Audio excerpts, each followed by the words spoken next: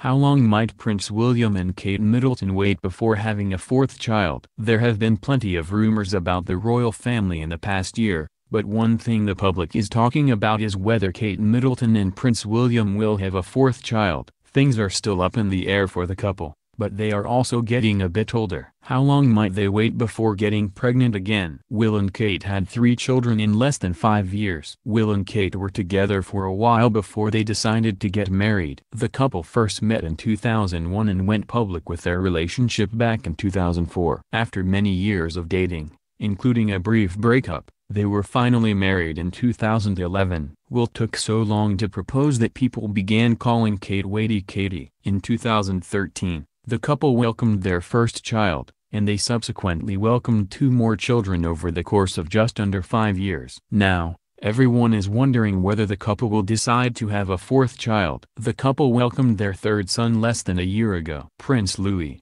Will and Kate's youngest son, just celebrated his first birthday yesterday. Everyone who has had a newborn knows how much they are to take care of and it's possible the couple has thought about having a fourth but wanted to wait until Louis has at least started to walk and talk. Will and Kate do have a dedicated nanny whom they've been working with for years, and she has played a big part in helping care for the kids. But with so many royal duties ahead of them, the couple might be torn about whether or not to have another baby. If the two decide to have another child, it will probably be within the next year. Kate and Will don't tend to wait too long between pregnancies. Charlotte was born less than two years after George, and Louis less than two years after Charlotte. If the couple does decide to have another baby, they will probably announce a pregnancy within the next year. They just recently celebrated Louis' first birthday, so maybe know that he's past that one-year milestone they'll begin trying for another. It's possible that Prince Harry and Meghan Markle's new baby, and the thought of them having a second one, will prompt Will and Kate to try for one more, too.